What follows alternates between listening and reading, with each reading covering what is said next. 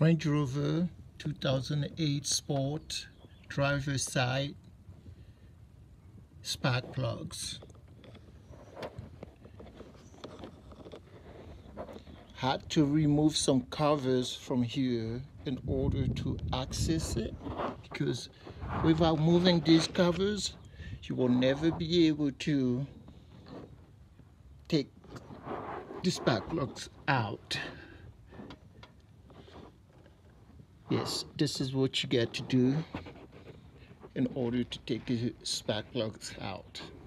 Okay, thank you.